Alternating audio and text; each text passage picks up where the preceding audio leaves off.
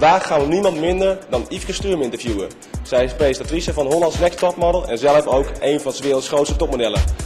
Hi Yveske, Hoi. super dat we hier mochten zijn. Eh, het is echt een fantastische omgeving, alles is fashion hier. Hoe ben jij terechtgekomen bij Hollands Next Topmodel?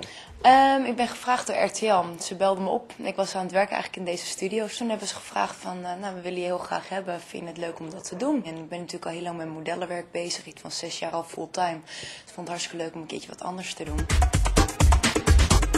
Zelf in New York, New York City. Hoe is dat daar? Hoe beleef je dat?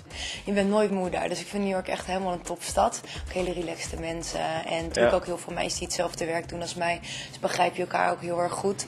Maar ik vind het ook altijd heerlijk om weer naar Nederland toe te gaan. De Amerikanen zijn toch meer van look at me, I'm fabulous. En dan kom je in Nederland en dan zit je weer gewoon lekker met je mama. Een kopje thee en een broodje kaas en wat dropjes daarna.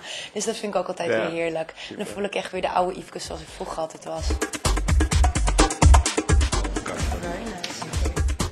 Zijn jouw meeste vriendinnen zijn dat ondertussen ook allemaal modellen? Of heb je ook zeg maar nog gewone vriendinnen? Echt, eh, nee, ik heb een combinatie van. Ik heb inderdaad wat vriendinnen die, ook, die ik ken van de modeshows. Wie is je beste vriendin van de Eh, modellen? Theresa Lorenko. Maar dan heb ik ook weer een Nederlandse beste vriendin met wie ik weer over andere dingen praat. Dus juist die combinatie maakt het zo leuk. Vertel eens iets meer over de sjaals. Zelf heb ik het patroon ontworpen en de kleur. En je kan deze om je, ehm, als je een jurk aan hebt, kun je hem omslaan. Je kan hem ook zeg maar ehm, wat chiquer dragen, dat je hem op deze manier draagt.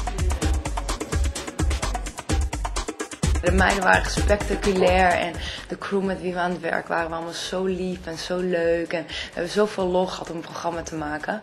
En ik denk dat je dat op een gegeven moment ook terugziet in het programma. Kijken op RTL 5 om 21 uur 25.